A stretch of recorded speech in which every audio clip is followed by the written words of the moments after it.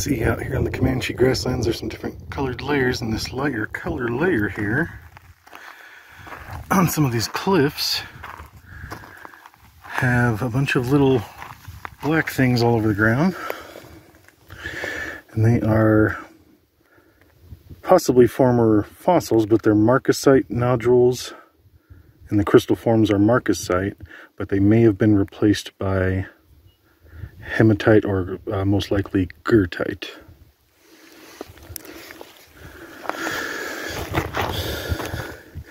And these things are just here, they're eroded out everywhere. That one's kind of cool. I might keep that one. Sparkly ones are kind of disappearing. There's one.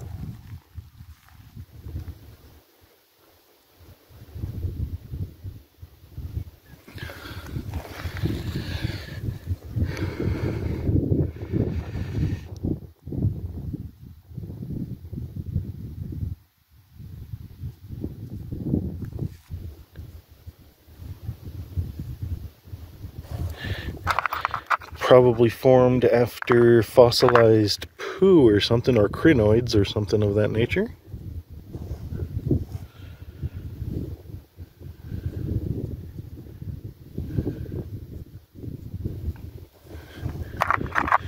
This one has a kind of unique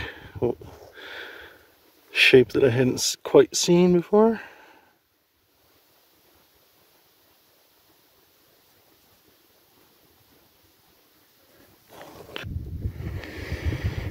Here's another marcasite nodule that looks like a bullet almost. That is a natural formation of crystals. It's probably goethite after marcasite. Focus camera. And here's one out of the rock it comes from on Matrix.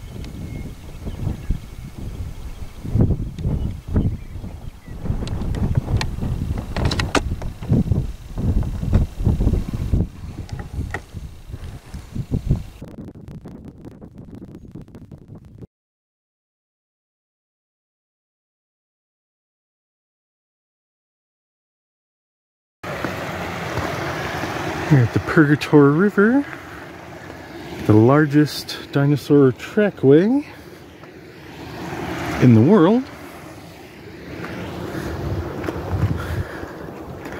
In these limestone blocky areas, you have dinosaur tracks of different types.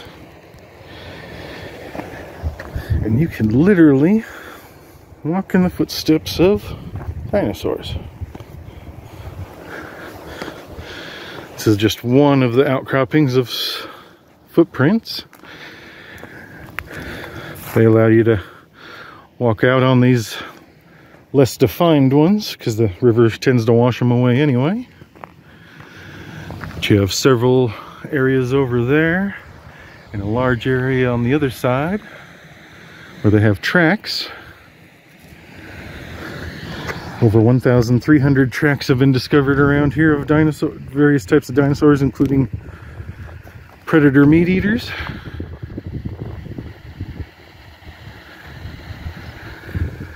These days you have some hawks flying over.